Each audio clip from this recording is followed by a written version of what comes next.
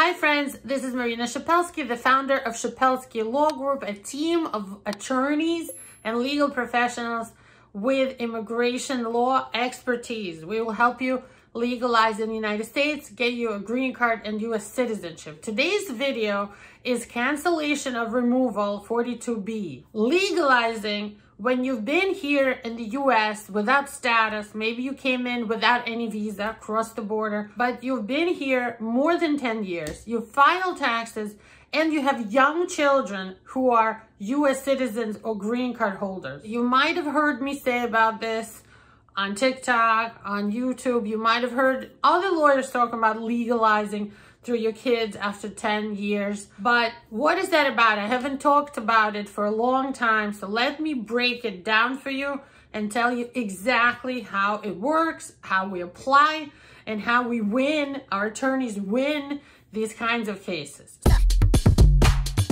So first of all, who is eligible? You have to have Number one, living physically in United States more than 10 years and both having kids born here who are U.S. citizens, or maybe you had kids who became already green card holders, but they were born elsewhere. And you had to be a good person with good moral character. And number four, so all of these are necessary, right? Number four is you have to prove that your kids have a medical or educational hardship or some other life type hardship that would make it an extreme hardship, that's a legal term here, and would make it very difficult for them to leave United States and live with you in your home country if God forbid you are deported there, right? Again, you are here over 10 years and you have US citizen or green card holder children and you have paid taxes and you don't have any major criminal problems and the most important, not only you have kids who are young and US citizens or green card holders, but you can prove that these kids have medical hardship or educational hardship or some other really tough hardship. Like for example, and this is not the strongest cases, but you know, if that's what you have, we might end up taking your case. Like if you are the breadwinner and if you leave, uh, their mother doesn't, you know, if you're the father, the mother doesn't have really any chance to support them. Or in reverse, if you're the mom, you know, the father doesn't have any skills or whatever, and, uh, you know, he can't support them if you leave, right? If you are a husband and wife team, or like a mother and a father of these U.S. citizen children, you each file your own separate cancellation of removal case. How do we do this? How do we even file this? First of all, you need to do a consultation with our team. We don't just take anybody with US citizen kids. You have to qualify for the four things I mentioned.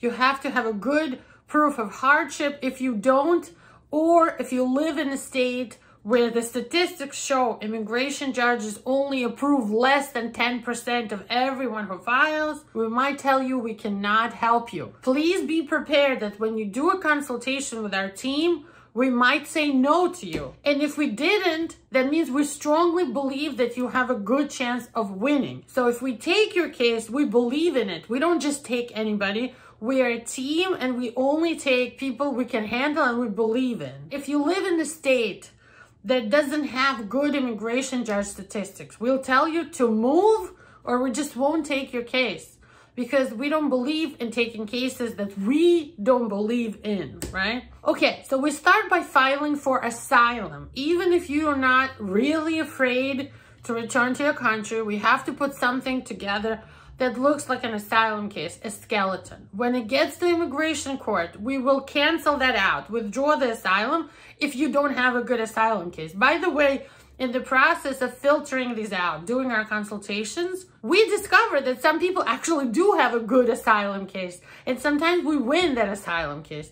But, you know, you might not have thought about it because you've been in the United States for over 10 years, right? So 10 years, people know filing for asylum, you have to do it within one year of coming to America. But there are exceptions to that rule.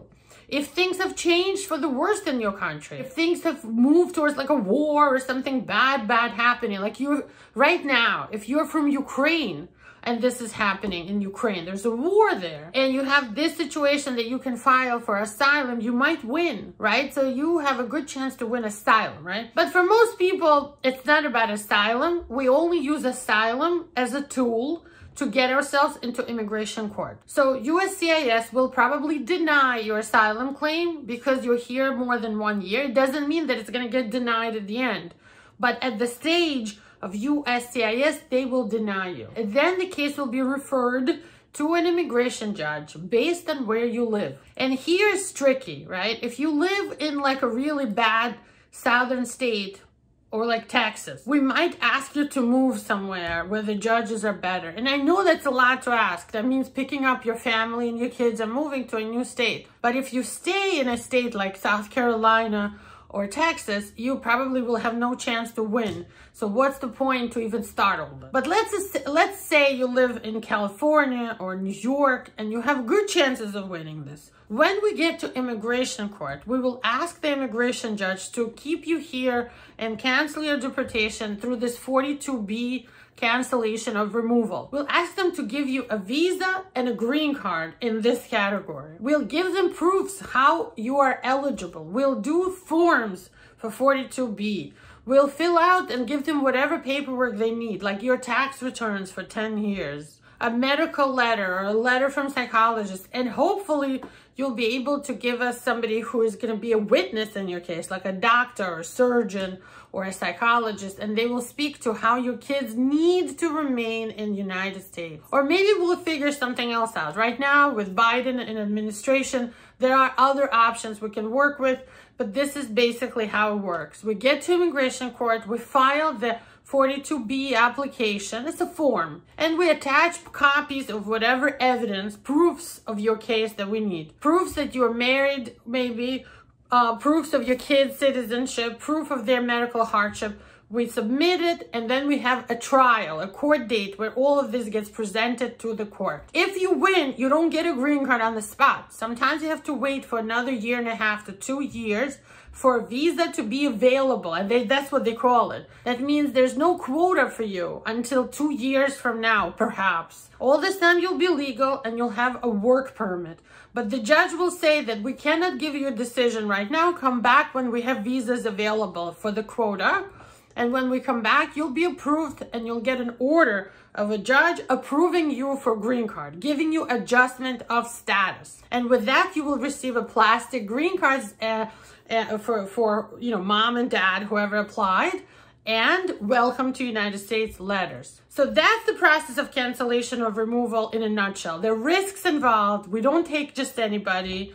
We really filter these out, but many people do qualify. And many people find when they do consultation with our attorneys that there's other things they do qualify for that they never thought about, including asylum that I mentioned. For some people, VAWA and other things. So definitely invest in a consultation with our team, find out your history. Sometimes you'll you'll uh, gain you know a lot even from ordering something called a FOIA, your archive copy of your prior immigration stuff, and you'll find things there that you'll be very surprised to see. And some people will qualify and get cancellation of removal. So give us a call today.